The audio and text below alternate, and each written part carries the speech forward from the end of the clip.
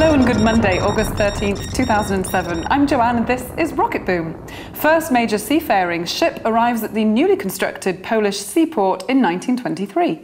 That's because the Polish Parliament passed a Seaport Construction Act almost a year prior. Thought you might like to know. So where are we now? The lifeinthefastlane.ca site has put together images and captions of some of the most unusual looking animals in the world. Do you think some of these animals are messed up? Like something went bad that made them like that? I mean, do you think that they think we're normal or do you think they think they're normal and it's us who's all messed up? All I know is that there are a lot of animals out there that didn't make this list. So add your picture to the comments. Or not your picture as in a picture of you, but a picture of a weird animal that's not you. In China, a quick to market group has manufactured an iPhone rip-off. While quite clever and possibly with a modified copy of the original OS, touchscreens have been around for a long time and it would be interesting to know how it compares to the potentially more refined sensitivity of the iPhone.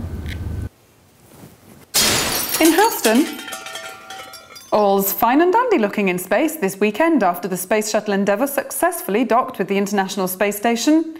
Seems to be a bit of foam loss from over the gas tanks, but um, nobody seems to be worried. Over Houston. Facebook, we have a problem.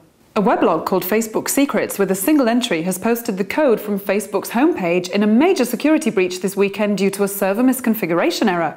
Facebook takes privacy of information very seriously because they're a major source of people's personal identity. In Germany, hacking tools against law. Now in effect, no one in Germany is allowed to possess any hacking tools including software code. Not in Germany.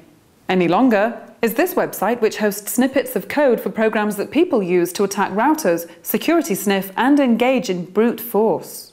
On the internet, you can now type in slash flash to any Rocketboom URL to watch Rocketboom in Flash, closed caption, or with translations in other languages. You can also type in slash WMV if you like Windows media files, which work the same way. In Iceland, not so much. Which is where we'll leave it.